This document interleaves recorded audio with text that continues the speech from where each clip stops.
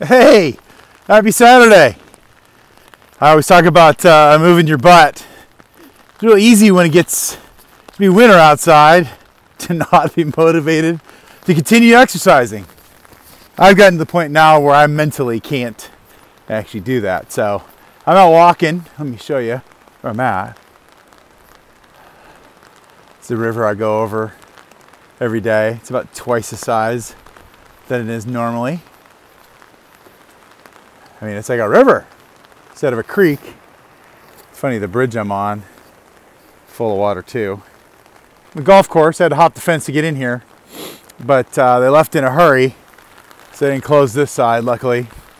We'll see if I can get out of here. On point!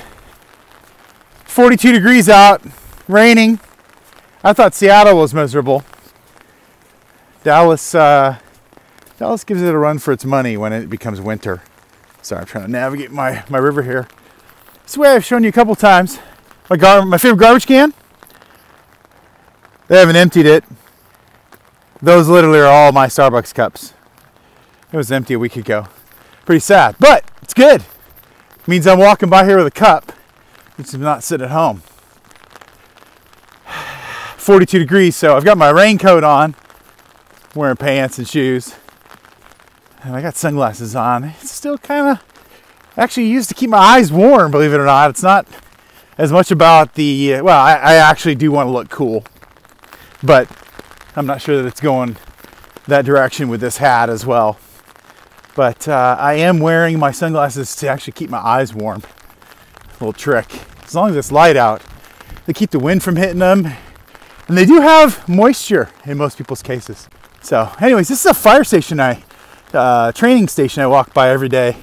It's really cool. Sometimes I'll stop and watch them. They'll light cars on fire. Go up in that building.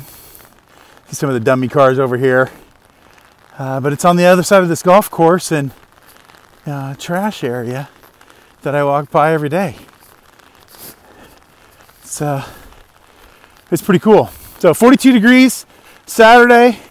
This is a uh, probably a 20%. I don't have no idea what kind of percentage grade. Um, it's like walking up a hill because it is. And uh, I'm actually hopeful that the wind isn't bugging you because I'm using Apple headphones for one of the first times that I've done one of these. My other headphones are, are dying, short out all the time.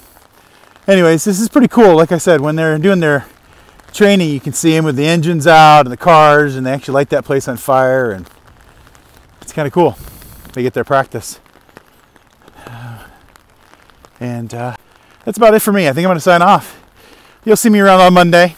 Just thought I'd try one of these during those days when I think most people are sitting inside. Trust me, I did spend most of the morning in slippers and sweatpants watching This Is Us, crying my eyes out. But now this is me. It's a spin on the title. So, send you off. This is what it looks like where our kids grew up playing soccer. It's a uh, field. And then the Owens, if you guys are familiar with the area, the Owens is absolutely 100% gone now. So, anyways, happy Saturday. Hug your friends. Hug your family too.